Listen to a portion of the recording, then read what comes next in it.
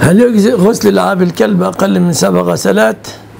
كذا قال بعض العلماء لكن عفوا إذا ولغ الكلب في الإناء هو الذي يغسل سبعا.